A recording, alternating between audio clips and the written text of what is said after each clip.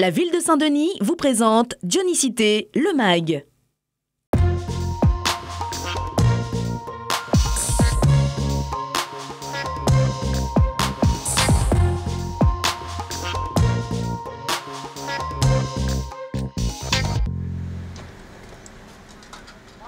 Début décembre, vous n'aurez presque plus à faire ce geste.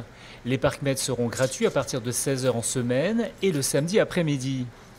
La ville de Saint-Denis et l'association des commerçants ont opté pour cette mesure bénéfique pour tous. Bah, une bonne chose déjà pour la ville de Saint-Denis, pour les magasins surtout, parce que tout le monde a tendance à aller plutôt dans les centres commerciaux, moi par exemple. C'est bien pour les gens qui ont des, courses à faire et avec les périodes de Noël qui, approchent. Pourquoi pas, ça va peut-être favoriser le commerce en fin d'après-midi. Mais oui, c'est gratuit, meilleur. C'est gratuit, donc on aura certainement une affluence meilleure qu'aujourd'hui. À quelques semaines des fêtes de fin d'année et pour l'avenir, cette mesure est la bienvenue pour les commerçants. Tout le monde le sait, économiquement, euh, ça va pas très bien. Les commerces tirent la langue, je dirais. Et cette mesure ne fera que booster, j'espère, les ventes. Cette mesure est très importante pour les commerçants de Saint-Denis, car si on part d'un constat, euh, on avait un, un, souci très dissuasif, c'est que le consommateur et le chaland dionysien avaient tendance à se dire psychologiquement, je viens à Saint-Denis, je me ramasse un PV, je vais en périphérie. Donc la solution aujourd'hui, c'est euh, après le travail, 16 heures, vous pouvez venir faire du shopping à Saint-Denis le samedi après-midi. Pour venir en aide aux commerçants et redynamiser le centre-ville, la municipalité a donc jugé indispensable d'intervenir. L'offre des parkings gratuits s'est faite en concertation avec les acteurs économiques il y a plusieurs mois.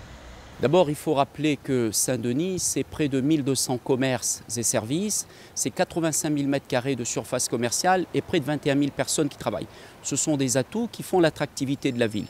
Sauf qu'aujourd'hui, il y a une vraie concurrence des centres commerciaux qui sont à la périphérie de la ville et qui offrent du stationnement gratuit. Il nous fallait donc réagir, c'est ce que nous faisons effectivement.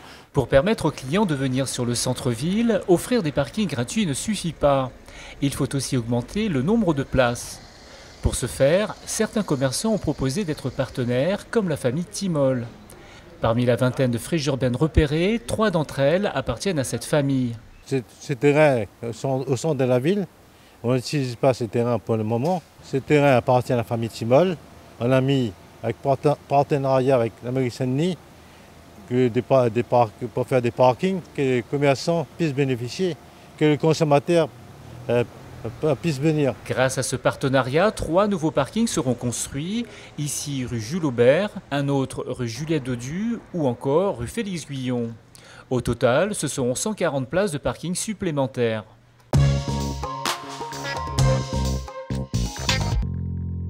Vous êtes adolescent, alors venez faire la fête à la nouvelle soirée Jeunesse en l'air samedi 19 novembre à partir de 20h. La direction de la jeunesse de Saint-Denis propose une pool party au parc Aquanor.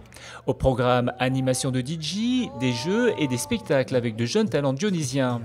Enfin à partir de 21h, ce sera un dance floor aquatique.